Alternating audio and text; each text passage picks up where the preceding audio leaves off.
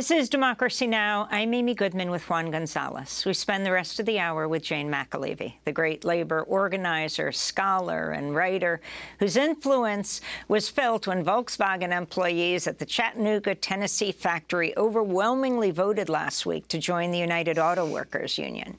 The plant will become the first foreign-owned car factory in the South to unionize.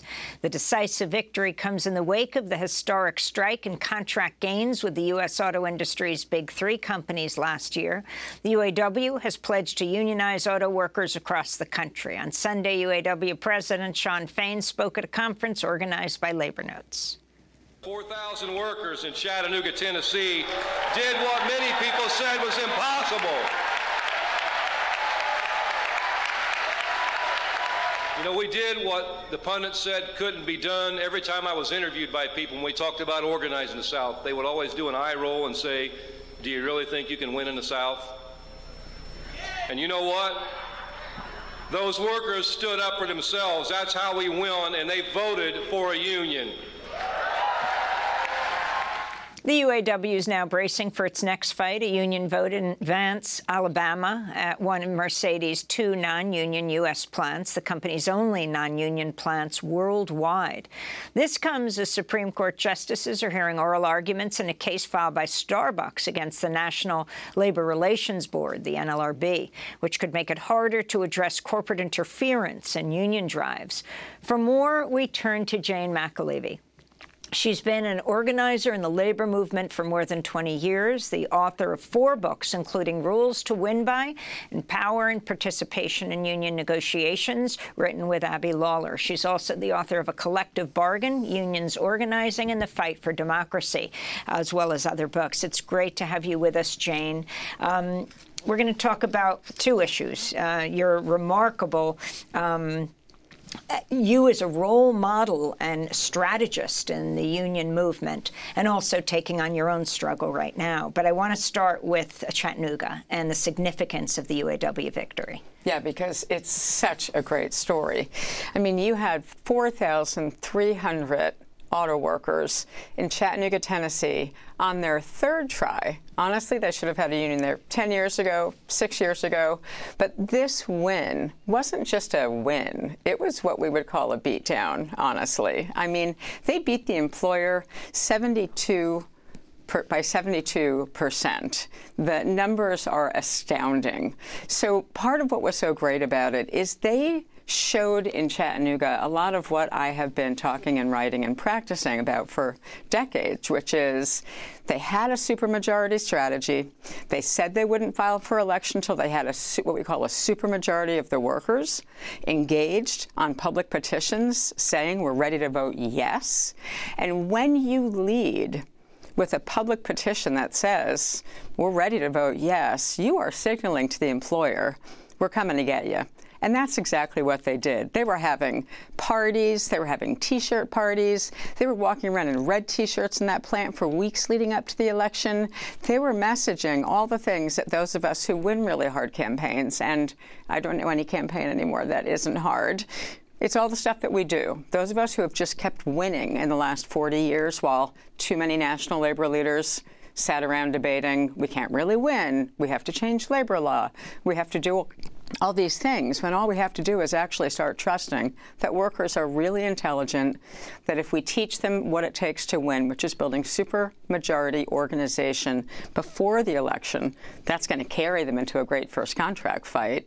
Uh, and that's just what they did in Chattanooga, and I hope they're going to march right into Alabama and do the same, because that's going to really rock the House of the South of this country um, if we walk this into the Mercedes plant on May 17th. And uh, yes, and I wanted to ask you about that, Jane, the uh, the Alabama struggle, and also this whole issue of of unionizing these uh, foreign.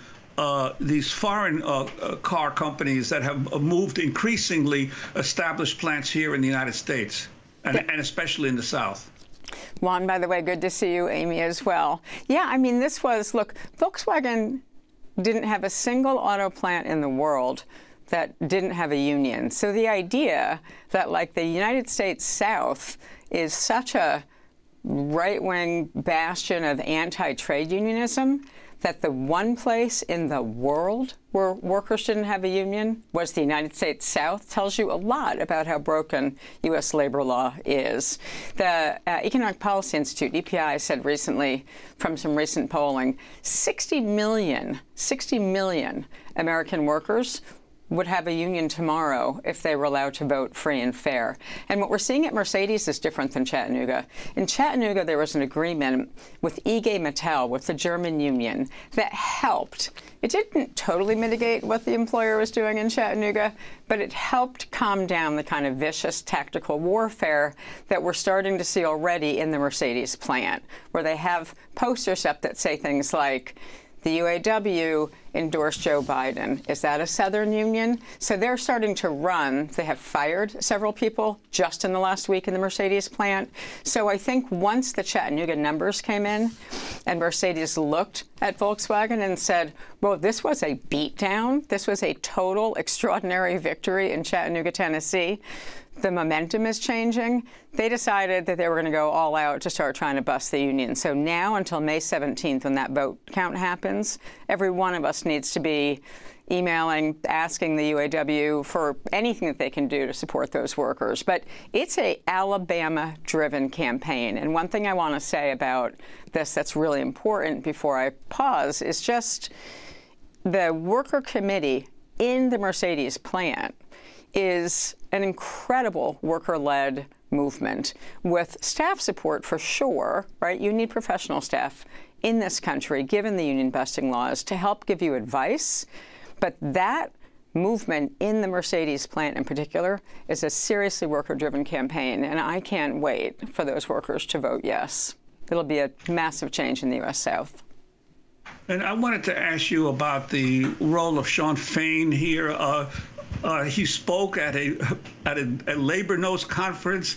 Um, for people who are not familiar with Labor Notes, this is the organization that has been backing rank and file movements for decades. And to have a UAW president uh, speak at a Labor Notes conference in itself is uh, highly unusual. I'm wondering your sense of the impact of the the democracy movement that occurred within the UAW and its effect on the labor movement. Yeah, I mean, this is a source of personal joy because I'm a UAW member for many years, including that I was part of the 48,000 worker strike. So I had the pleasure of voting in the ballot initiative to get direct democracy in the United Auto Workers, and then I had the pleasure of pulling the lever for Shawn Fain, doing some fundraisers on the West Coast uh, with a bunch of folks for him. So to watch him go from winning the election, contested, highly contested, basically taking over in early March, walking into what was their national negotiations every four years, their national negotiations conference in late March, going into and leading a series of unprecedented strikes that resulted in incredible victories had a direct impact on the workers in Chattanooga deciding, hey, we want some of that, right? Like we want to top out at 40 bucks an hour instead of the low 30s that we top out at right now in Chattanooga, Tennessee. So Shawn Fain is already becoming the kind of trade union leader that we need many, many more of. And I am thrilled that he is my union president. Um, and I'm thrilled that I got to participate in the direct, direct democracy movement that helped put Shawn Fain in because we are seeing what one risk-taking, strategic, smart trade union leader can do in literally less than a year. He's created a movement in less than 12 months.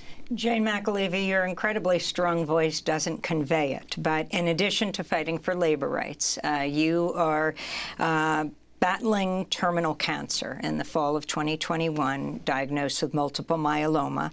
Um, you recently wrote a piece titled, I have stopped all work to turn to home-based hospice for the remainder of my time.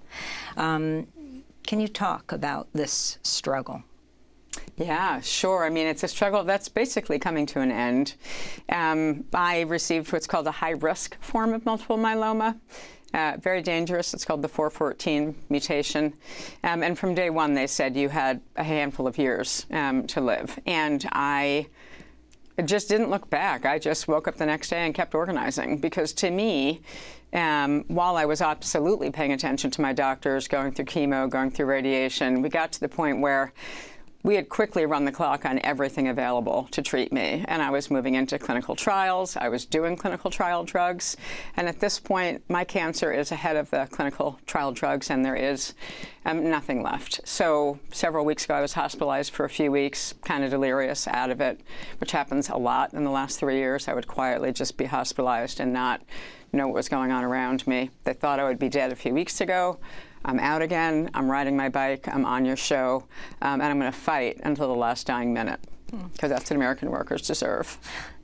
Well, you're truly amazing. And this isn't the end of our conversation. Um, it is the end of the show. Uh, but we'd like to do a part two with you um, and talk more about labor history and also going back to your student years, um, yeah. taking on the um, anti-apartheid movement and what that meant um, as students uh, have these encampments around really the country. familiar imagery to me from uh, being a student activist. And you yeah. have a lot of, to teach people. I want to thank you so much for being with us and for all that you've offered, not just the labor movement, but um, to your humanity, um, your in organizing, your brilliance and strategizing. I thank you so much. We're going to do part two in a minute. Uh, Jane McAlevey, labor organizer for 20 years. Um, that does it for our show. To see that interview, go to democracynow.org. I'm Amy Goodman with Juan Gonzalez. This is Democracy Now!, democracynow.org, the War and Peace Report. I'm Amy Goodman with Juan Gonzalez. We continue with part two of our conversation with Jane McAlevey. She's an organizer with the labor movement for more than 20 years, well known for her books uh, on the labor movement. Uh, Jane McAlevey has written Rules to Win By, Power and Participation in Union Negotiations, written with Abby Lawlor, also author of A Collective Bargain, Unions Organizing in the Fight for Democracy. No Shortcuts, Organizing for Power in the New Gilded Age, and the book Raising Expectations and Raising Hell, My Decade Fighting for the Labor Movement.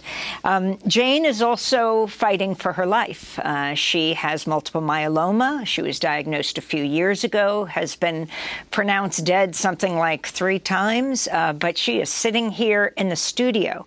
She most recently wrote a piece headlined, I've Stopped All work to turn to home based hospice for the remainder of my time. Jane, there is so much to talk to you about. Um, it is so remarkable to have you sitting here with your strong um, voice uh, and your presence. Uh, it is hard to believe you're facing the end of your life with this kind of grace and brilliance. Um, I was wondering if we can start with that. I mean, for 20 years, you've been taking on uh, the bosses all over this country. Um, and talk about that struggle amidst going in and out of the hospital and uh, what you've known for a long time because of your family history, your mother dying of cancer and your sister dying of cancer. Yeah.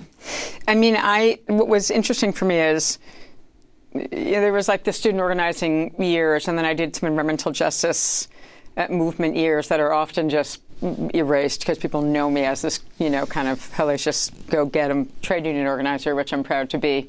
But I was living in the Highlander Center. But then as I hit the trade union movement, I was doing janitors, childcare workers, uh, municipal workers, you know, all sorts of workers, nursing home workers. I sort of cut my teeth on working with nursing home workers in New England, mostly black and brown women who are stronger than, talk about strong. Like I can take my strength from the strength of people who I work with every day in union struggles. Um, but I eventually became someone who did almost entirely hospital organizing and registered nurse and, and whole hospital organizing.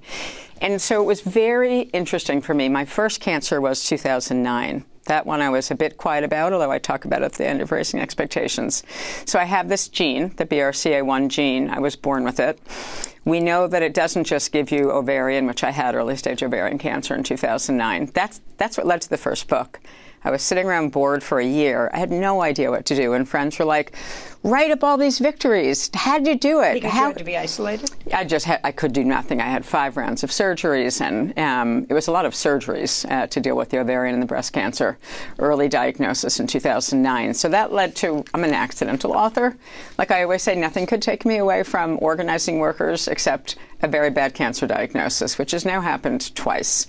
Um, unfortunately, the first one uh, was beatable, um, and I beat it and I got four books out of that time period um, and a hell of a lot more incredible campaigns with workers um, and began to create these huge training programs to train rank and file workers by the tens of thousands how to actually do what the workers in Chattanooga just did.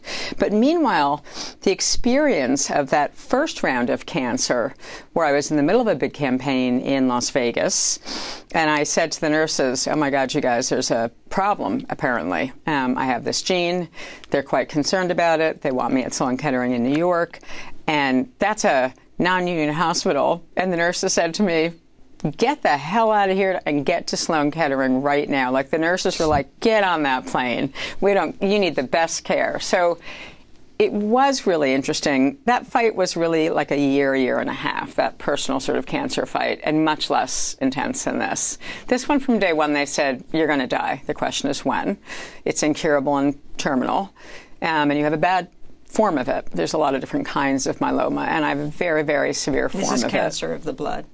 It's cancer of the blood, um, and I got. Uh, uh, uh, there's one kind of one form above me that you would have, I would have been dead in about three months, and then below that is what's called the 414, which is, I'll just say, it's a little type of the cancer that mutates to every single thing they give me. So every treatment they give me, it studies it. I joke and say it does a power structure analysis, like I do um, in every fight. Like I start a fight by doing a power structure analysis. I have this image of these little, you know, evil bodies in there. Okay, well, this time they shoved in, you know, talquetamab. What do we know about this? And like these little things go off and study it, and then they come out and attack. And they attack because it's in the blood. They can attack the whole body at once. And next thing I know, which happened a couple months ago, two, less than two months ago.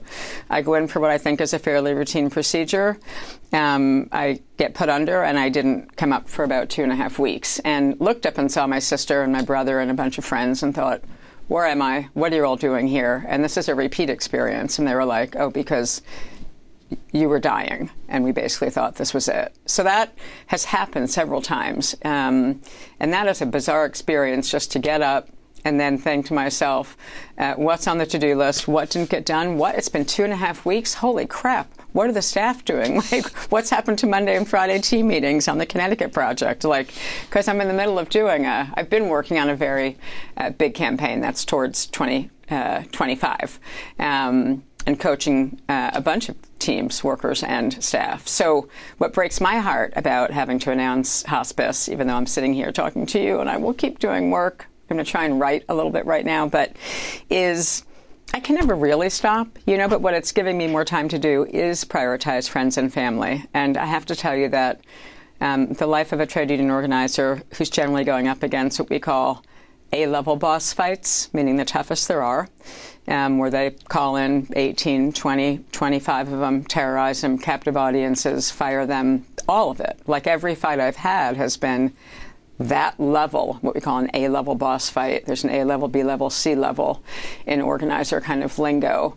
Um, you know, so for me, it's the courage of all the workers that I've had the pleasure of being with in these struggles for 20 years where they have to get up and take risk and do things that are extraordinary just to form a union that I think is where I take the strength I have from. So I'm definitely spending more time with family and friends. I haven't gotten enough time with them maybe over the years because the campaigns are so relentless. Um, I think a 19 hour day was an average for most of the last 20 years. Um, I don't think the lack of sleep uh, has hurt my ability to heal because I keep kind of bouncing back. The to me, the only worthwhile thing really to say, I think, still about the cancer is just that this time there's nowhere to go. So each time I collapsed and went down in the hospitals, um, they would have a strategy right? We're strategists. I'm a strategist. I'd wake up and I'd be like, what's the next strategy? Um, and when I came up this time, they said the strategy is um, hospice because there is nothing else to do. Uh, so I'm really enjoying time with my friends and family. I've probably seen 50 people already in just the last two weeks. Um, I am so blessed by so many good friends, and it's, I would say, my tribe. I've always called them. I know it's a holiday, uh, but you know, there's a tribe of organizers, like 400 of us, um, who just kept winning in all the years that the national leadership kept saying we couldn't win. There's like 400 of us who just kept winning, whether it was the Chicago Teachers Union folks, the United Teachers Los Angeles folks. Now we've got the Victor under Shawn Fain. I feel like 2024 in Chattanooga is a little bit akin, and boy, if they hit Mercedes, it's really going to be true. Like 2012, when the brilliant Karen Lewis, who we lost to cancer, came on and came out and led that incredible strike at a time when Chicago teachers. Yeah, when big strikes hadn't been happening for a very long time. And they got ready and they did their work and they had the community behind them. They did incredible preparation work for two years to get ready for that strike. They did supermajority, same word I was using about Chattanooga. They built supermajority committees in every single school in Chicago.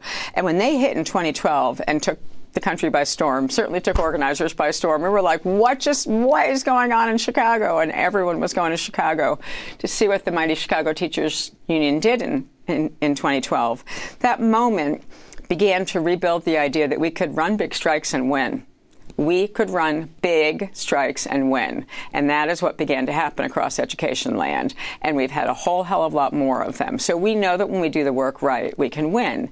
And that tribe of 400, probably 25 of whom have come zooming in to say their last goodbyes, which I try and turn into like a last cocktail or something nice in the evening with them, um, and really talk about the reflections um, and how we win. And I think, I think for all of us, there's been this deep love across this crew of three or four hundred of us all across the country, some of whom, by the way, were leading the campaign in Chattanooga, um, so or helping teach the workers against Volkswagen. Yeah, against Volkswagen. Um, some of the tribe was in uh, the Chattanooga fight because there are methods. There's a discipline and a set of methods that we know, and we know they don't always work. Nothing is ubiquitous, but they work a lot. And so you know, I've almost never lost a National Labor Relations Board election in 20 years, and there's a reason for that. And there's a lot of organizers, and I really, this is a really important thing to say. There's a lot of organizers whose names, unlike mine, no one's going to ever know. I could start naming them. They're an incredible, my, my comrades, my 400 or so, what we call the tribe. Um, you're never going to know their names and they just helped the workers. They just coached the workers into the victory uh, against Volkswagen. Um, they're going to be helping coach those workers what it is the boss is going to do next in that fight. You got to stay ahead of the boss in the fight under our methods. There's a way you stay ahead of the boss. We call stay ahead of the boss in the fight. Um, and it's only because I had that first cancer. Really, I'm an accidental writer, honestly. Um, and then Frances Fox Piven read the first draft and dragged me into the PhD to write No Shortcuts, which was also not a plan. I didn't finish undergraduate because I was arrested too many times doing student protests in my college years. I just dropped out. Um, but, you know, there's a lot of organizers who are every bit as good as me we're good. There's a lot of us, and we like to win, and we like to teach workers how to win. What are the methods? What is it we can do? And now we've taken that. You know, we've trained 40,000 rank and file workers in two and a half years since COVID started in our global training program, Organizing for Power. Um, there's another one starting on May 7th. There's six week organizing courses. They're free. You have to come in teams. Um, but I want to I want to basically acknowledge all the organizers who are out there winning and have just kept winning and kept winning and kept winning. Again, in the face almost of a cynical kind of do nothing national trade union leadership that lost faith in workers. Um, and that didn't put the kind of resources into organizing and started hiring lawyers and did brand damage and did shareholder campaigns and did everything but talk to American workers. And it turns out when we invest our energy into actually engaging with American workers, they vote yes for unions. Um, and so that that team of organizers who just kept at it and are going to keep at it long after I'm dead. I love them, um, and they have a lot more people to teach. And we're in a hell of a moment right now. And if Shawn Fain's leadership can march into Mercedes and take that plant, uh, we're about to change the course of Southern history. Um, and there's also a lot of danger all around us, right? We've got Trump lurking. We've got polarization at really intense levels.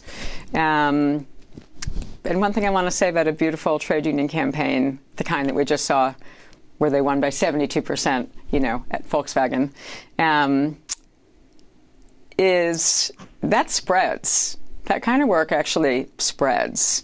Um, and when you have a victory like that, other workers all around the country and the world, but especially the country, start to think to themselves, hey, we can probably do that. Like, how do we actually do that? So, um, we've had this position of 20 years of risk averse national trade union leaders. Shawn Fain, breath of fresh air, just so different, so ready to go out there and be risk taking and say, I have faith that American workers are smart enough to know what's right or wrong as long as we can get into a one on one conversation with them. Um, you know, and they're doing it. Um, so it's pretty amazing. Um, and I just want to acknowledge all those organizers who are not writing books. I mean, I wrote the first book because I had cancer, and I wrote the fourth book on cancer. And to be honest, I had started my fifth book, and I'm sorry that I'm not going to get to finish it. Called, I'll just say it, it's the theme of my life, but it was, to me, it was going to be my ultimate sort of final book on power, called Leave No Power on the Table. So we leave a lot of power on the table um, in the trade union movement. And in my view, in every campaign, there isn't room to leave an ounce um, of power on the table if, if workers want to win and have life changing contracts like they did in the UAW settlements. Jane, Jane, I wanted to ask you. You've uh, uh, alluded a couple of times to your start as a student organizer uh, in the, the divest from apartheid in South Africa. Could you talk about that and how that shaped your uh, your activism? Sure. Uh, those images, Juan, were incredible. Um, also of you in 68, by the way. But yeah, there were two rounds of it. I mean, um, to make a long story short, in the State University of New York, it's 64 colleges. Um, if you include the community colleges, 64 state colleges and community colleges. It's the largest public university system in the country. And back in the day when I was 18, 17, um, we had a very strong, we called it actually a statewide student union. We actually used the word student union. Um, and people had to join. And we were going up against Young Americans for Freedom, who would run uh, anti-dues campaigns, and we had to win the dues campaigns. I mean, it was a lot like running a union campaign, uh, just a little bit less intense than I would find, you know, 20 years later. Um, but so as student leader, I became the elected student body president uh, at State University of New York at Buffalo, which is the largest of the campuses. And our grad students were in with undergrads in the student government. So um, I had a, a, universe of 28,000 voters um, and was going up against actually a really hard campaign by the athletes uh, and the sort of Greeks um, who were like, who's this left winger who's going to try and take student government? We took every seat. We ran 28 people. We ran a slate. My father was a politician. He said, you don't just run alone, you want to govern. So you want to run a whole slate. So we 28 of us ran for student senate, every single position. If there was dog catcher, we would have run someone for that. We took the entire student government and then basically dove face first into the fight to divest the university from South Africa. And by a year later, I was elected head of the state student union, which made me the student trustee, like officially, legally the student trustee, on the statewide board, which gave me access to documents, to all the financial records, to every single thing a board of trustee member gets. So very unusual that you had a powerful enough state student union that the president was actually a member of the board of trustees. Um, and to make too many long stories short, we had already introduced a divestment resolution several times before I became the president, and we made a few strategy changes. One was we began to focus much more on Mario Cuomo, Mario, uh, smarter, I believe, than the son. But anyway, um, Cuomo wanted to run for president too, and we decided we had to start shifting strategy and putting pressure on Mario Cuomo, this like lovely Democrat who was going to run for office. And we said, hey, you know, you you're the real governor of in some ways, the State University of New York system, and we're going to put this campaign on you. Mr. Liberal Democrat who wants to run for president. We're going to put South Africa, Nelson Mandela's arrest, the murder of people all over South Africa, and apartheid directly onto your lap if you don't start getting involved in the campaign. Um, the day of the fourth vote, which was my first vote as a trustee, uh, we introduced the resolution, but I had access. I had the swipe pass to get in to the back because I was a trustee. So I wore a very large skirt that was covered with chains underneath it and padlocks. Um, and step one for me was to get up, introduce the resolution. Predictably, they were going to vote it down. Um, and then I was going to take a bathroom break, which I did, and went downstairs. So there were actually hundreds of workers secretly waiting. Um, and we took the business office because we wanted to stop the state business immediately, like so that the university couldn't function. So we had hundreds of students ready to take the finance office of the whole state university system, not just one campus.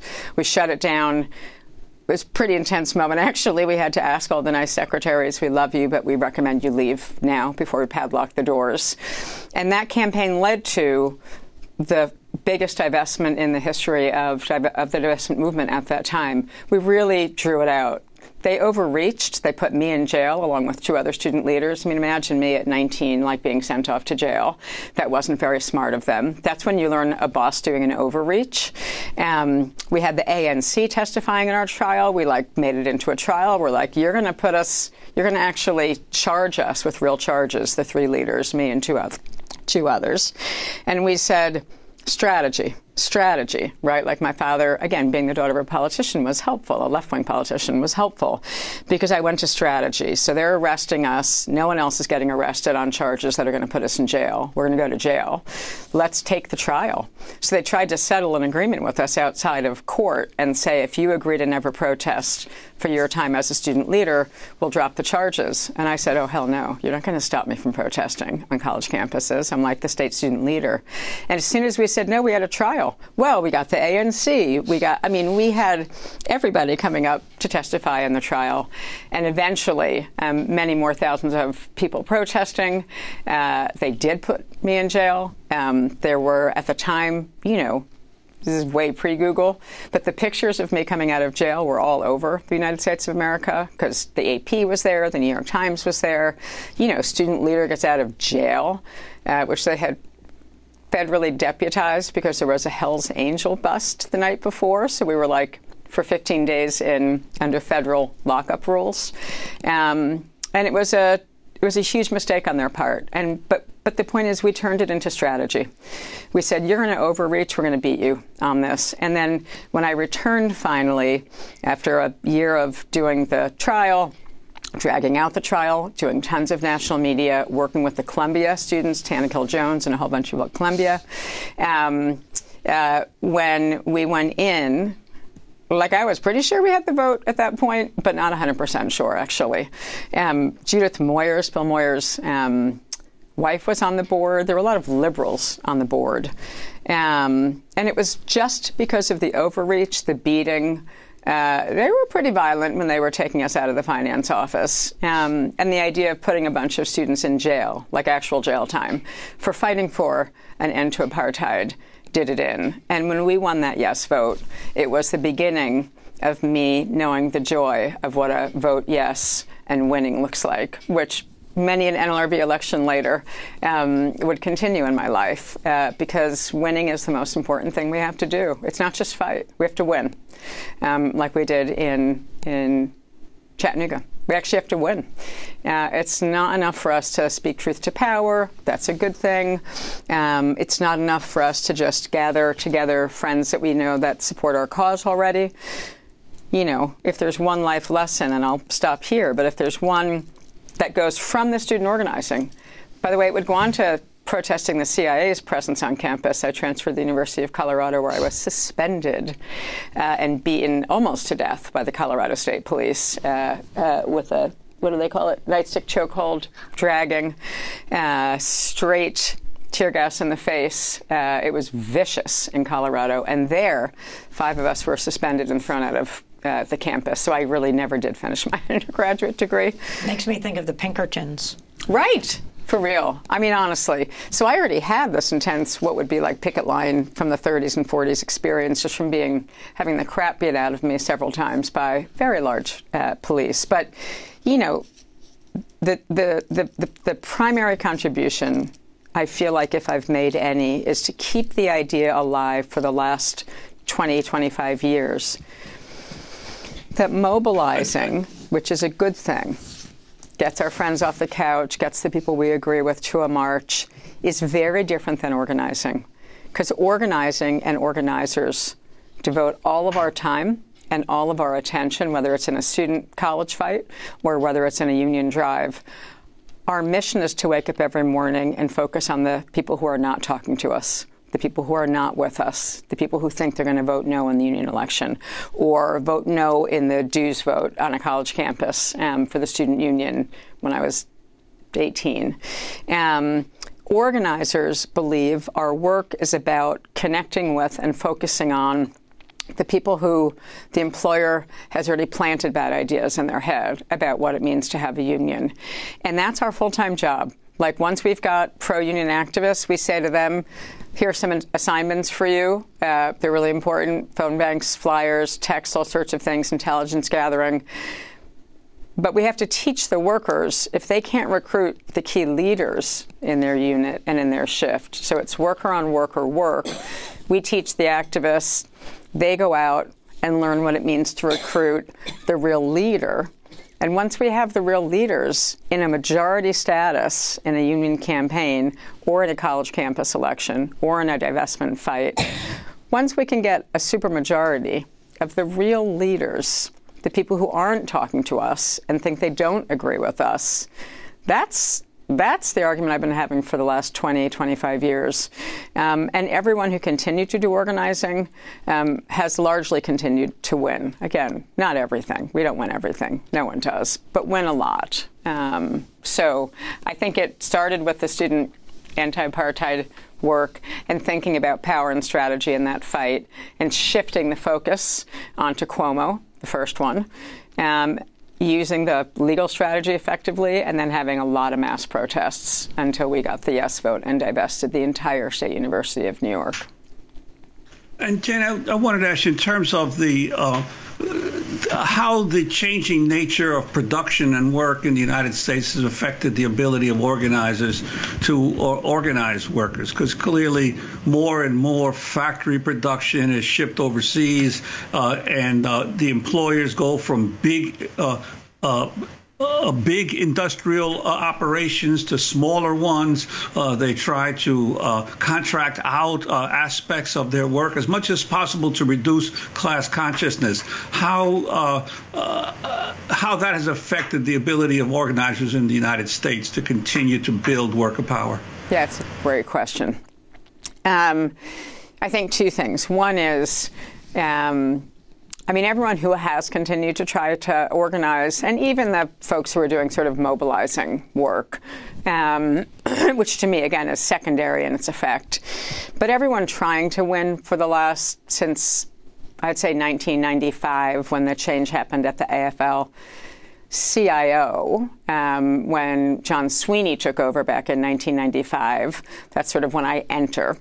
Um, everyone who's been trying since then knew that two things were true, or they knew at least one thing was true. One is we had to look for strategic targets who could not be forced out of the U.S. Hence, I become a hospital organizer. Right? They still have yet to figure out how to have a registered nurse administer the kind of incredible care I'm getting from Vietnam, China, fill in the blank.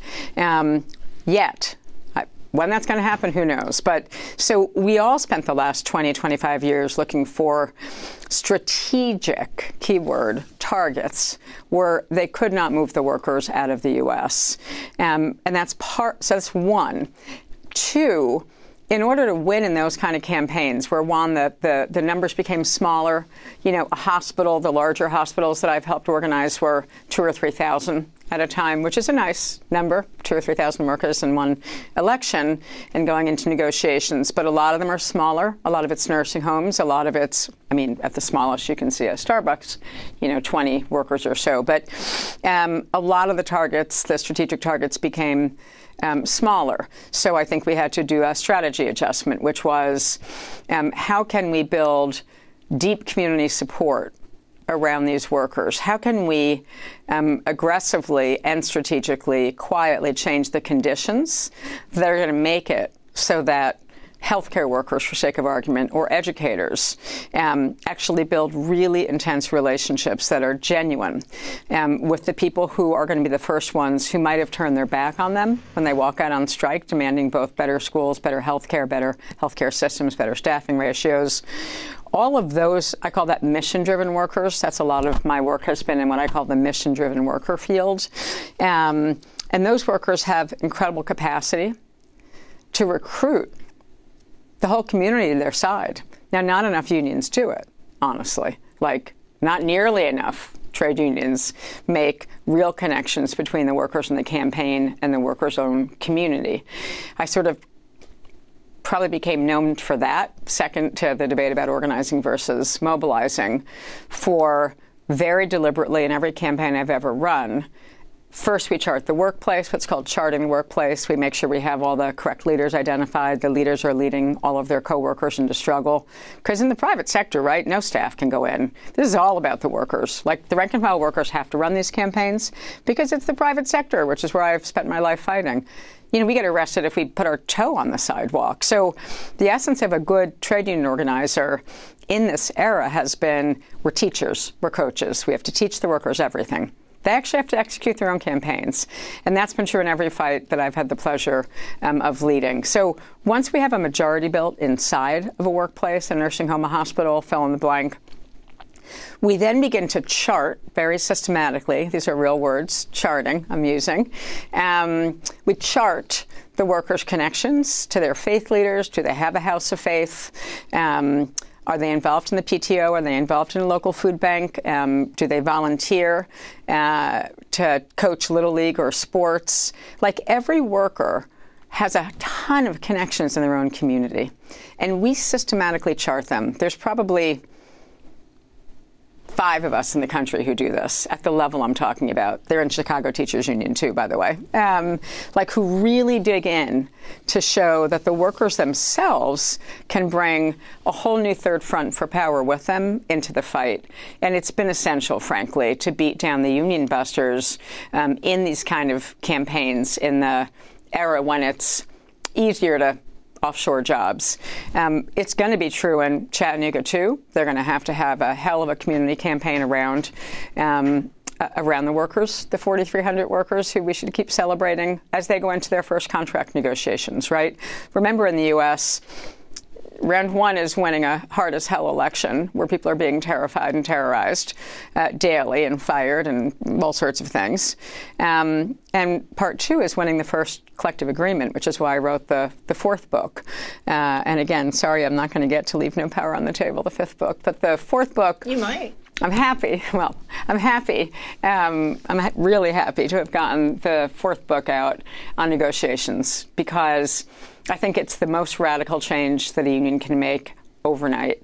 Um, I was taught to let all workers into the negotiations process. Most unions bring a lawyer, a um, couple elected leaders, Maybe there's five people in the room total. This is 95% of American labor, and I'm not kidding.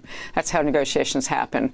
For those of us trained in a much more militant and democratic 1930s, 40s tradition, um, we bring all the workers. Uh, and I literally want all the workers. Like anyone who's not on shift should be in negotiations on days that we negotiate. So hundreds of workers are who the boss confronts when they walk into a room if I have the pleasure of being the chief negotiator. Those are the stories I tell in the book, how to do it. I use some of my own examples, but I also finally wrote a roadmap, really, Abby was an incredible graduate student uh, for me to get at Berkeley to do 48 interviews for that book and so much more work. Abby but Waller. we got it out, yeah. We got that book out in the n- nick of time in some ways. I mean, I was doing all of the, you know, it's. Um, uh, what's the word, McAlevey?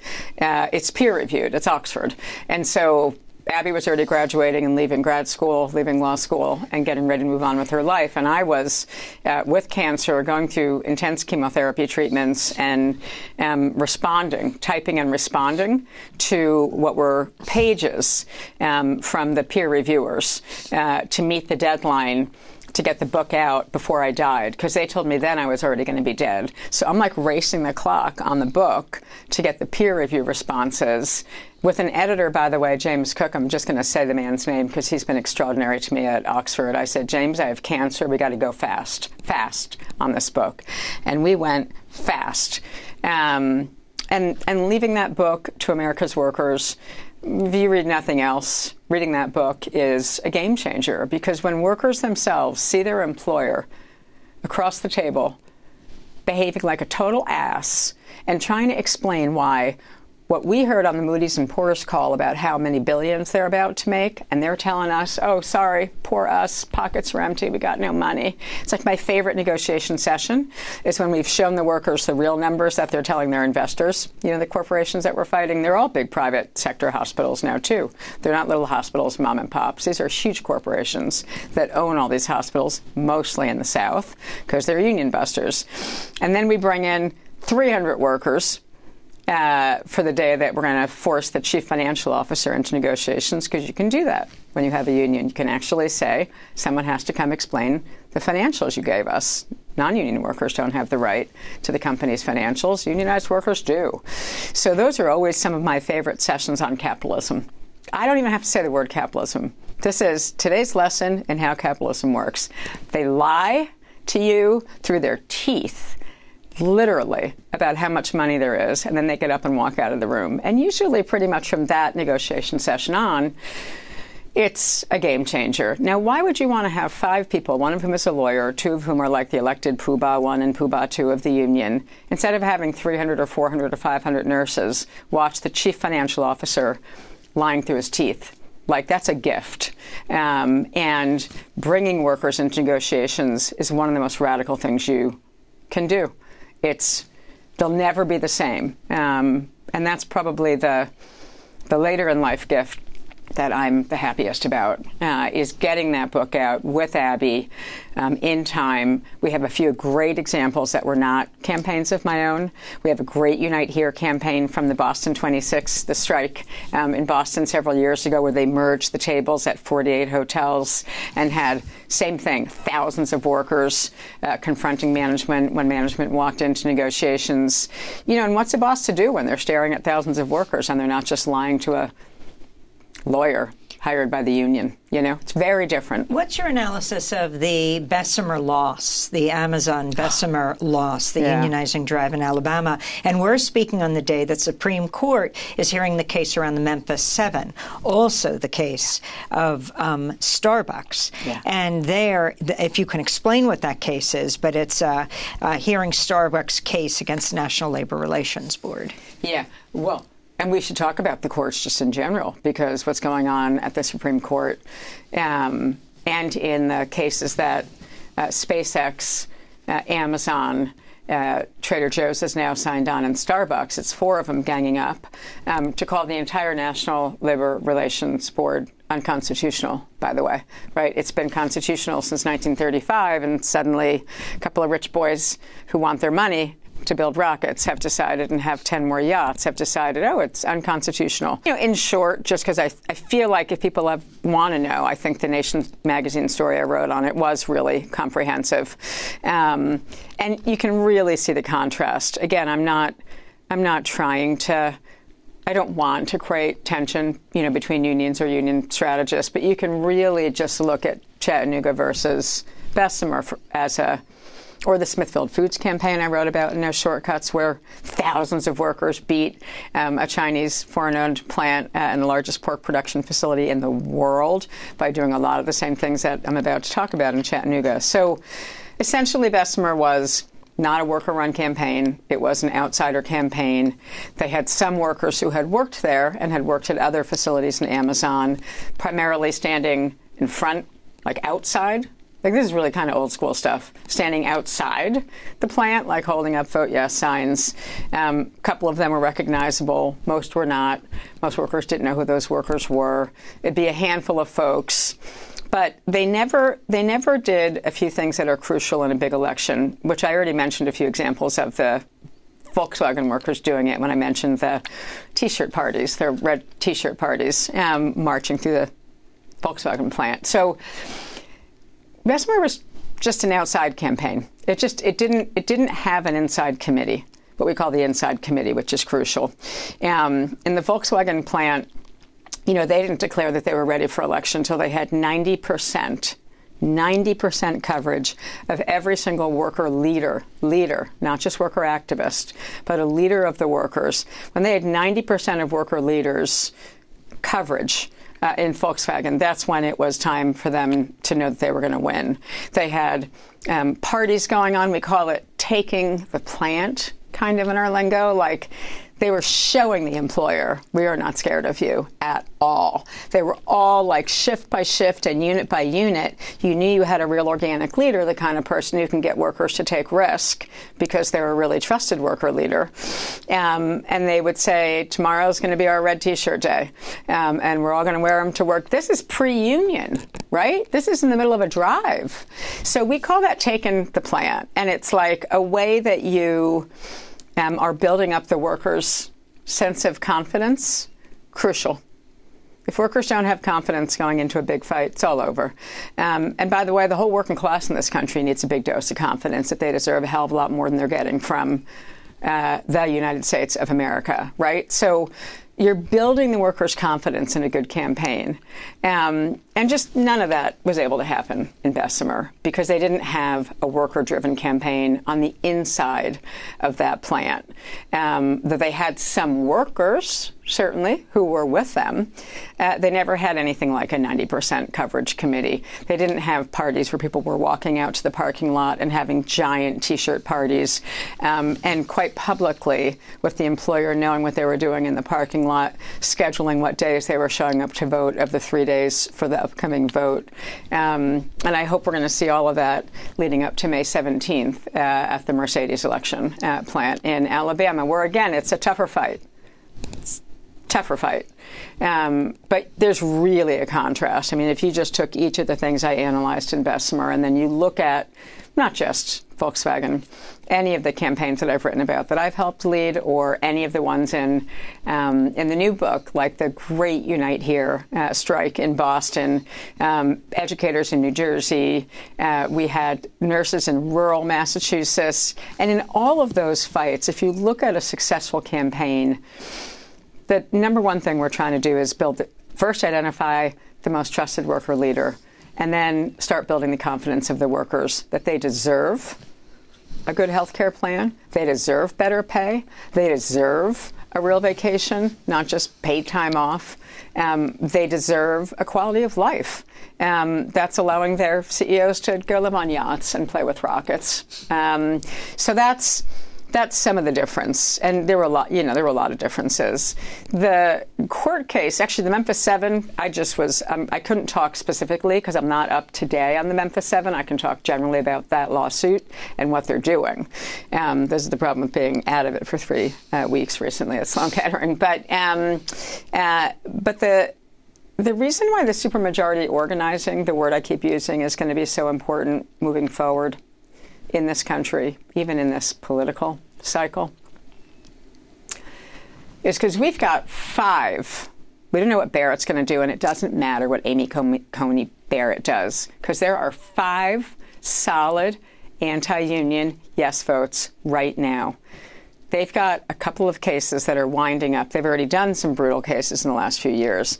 They've got a couple of cases coming up that aim to declare the National Relations Board unconstitutional for sake of argument.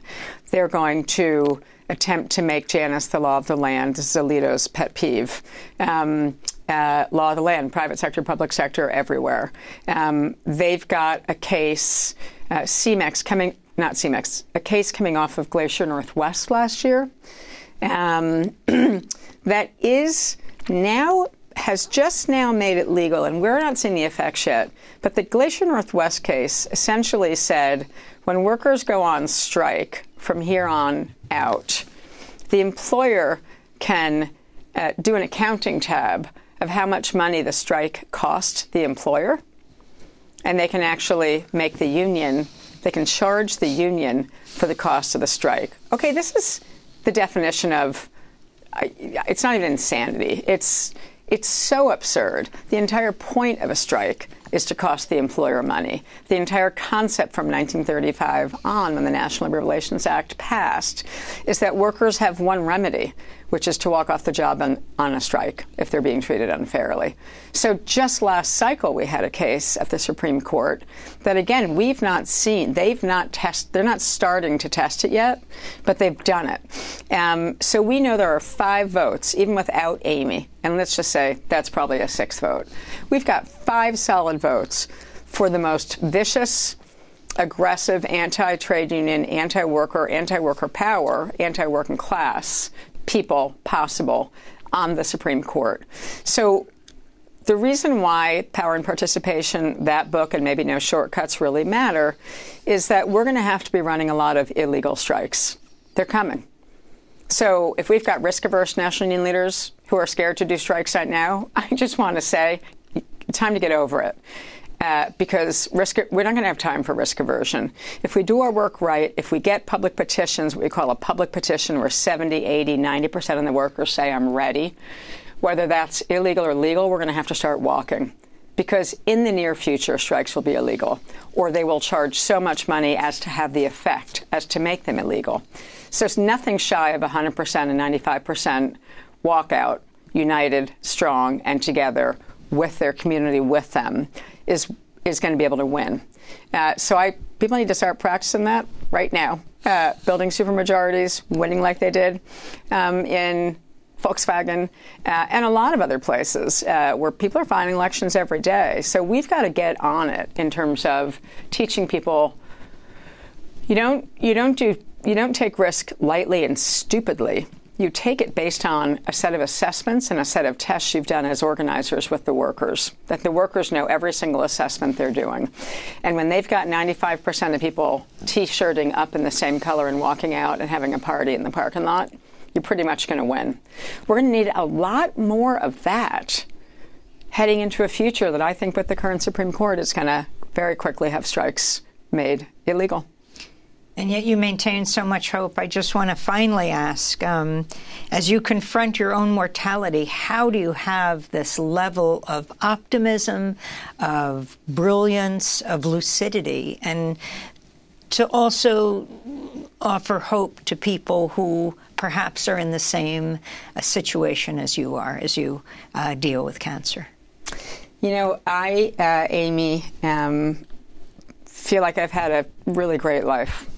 Um, I have been paid for 40 because the environmental justice, the Highlander years, the student organizing that started before the trade union, the dominance of the trade union work in my life. But, you know, for essentially 40 years, I have been paid to teach workers and ordinary people um, how to beat the power structure um, and beat it hard and win a lot.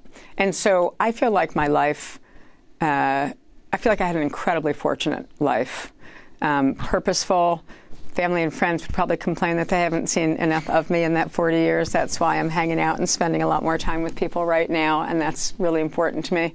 Um, but I have seen so many tens of thousands of workers win against stiff odds um, that I kind of have endless faith in the ability of workers to continue to win. Um, takes methods, takes discipline. Um, but for me, uh, I am going to just keep cheering on every single worker in every worker campaign um, until the day that I no longer um, am with us. But I am going to hopefully keep writing as fast as I can right now on a few subjects that relate to power. Um, and for anyone who's in a cancer fight, you know, it's a god awful thing. It's confidence stripping. It is soul stripping um, a lot of days. Um, and what's been amazing for me is the team I work with, the team I've been working with on a very big campaign, uh, in particular in Connecticut, had a multi year campaign, getting ready for it with a terrific union. Um, you know, I know the work is going to continue. So that's what gives me peace of mind. The books are out. Uh, the global and the domestic training programs are solid.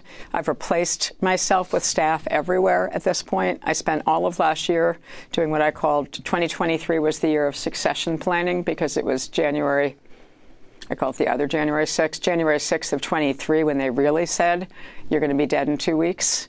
Um, and family flew in from all over the world to say goodbye, and then I popped back up again. So, um, again, that's different than now because they had a clinical trial drug to put me right into, which just magically worked. Um, but, um, you know, the work is going to go on.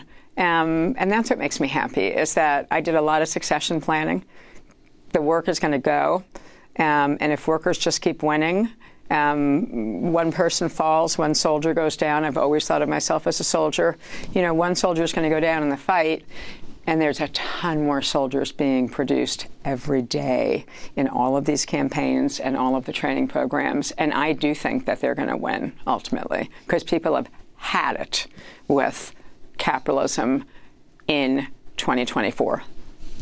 And your advice to people who are caring for people with cancer, what is most helpful to you? Oh, um, you know, showing a lot of love, um, uh, also giving space sometimes. Um, I'm the kind of person who needs some time alone um, each day, which is a struggle with my incredible caretakers, um, though most of them really understand it. But, uh, you know, delivering food, um, mostly sending messages. Like when I wake up in the morning, God, especially since I have not even yet read all of the letters I've gotten since the news about hospice, and it is um, unbelievable. Uh, if I'm feeling bad for a minute, I just turn and go to the next letter. I just read one from, like, I think Alyssa Barazoni that blew my mind. Like, so just letting people know, you know, that their life has been worthwhile and that the struggle continues. I think that's what people uh, with cancer need a lot of love, a lot of tenderness, a lot of healthy food, um, a lot of fun, if you can do it. You know, um, we're trying to have a lot of fun. Um, I did a book party called They're Not Dead Yet book party when Power and Participation came out because I was supposed to be dead then, um, and had two comedians, um, Dominique Nesperos and Nato Green. I don't know if you know them, but I had two comedians MC the party where I was supposed to be dead. Um, so trying to keep it light, and then for me. Uh, really doing the succession work, but I think for a lot of people who are struggling um, with cancer, those who will survive, God bless, get on it, you know, do the work you need to do to recover. Um, it's hard work and it's exhausting. Um, and for people facing, you know, a more terminal diagnosis like mine, um, I think we probably need all sorts of different things. But what we definitely need is a lot of a lot of love notes, a lot of text, a lot of emails, um, and just a lot of support. Um, through the through the fight. Jane, you end with a quote of Audre Lorde. You end your hospice piece. I am deliberate and afraid of nothing. She's amazing, isn't she? What would we do without Audre Lorde? I read that uh, to myself about 300 times a day. And every time the idea of fear, which I don't own a lot of, um, and I think that's helped through 25 years of union fights. My father was a World War um, II fighter pilot who did 28 missions in the German theater and made it home. Not many did.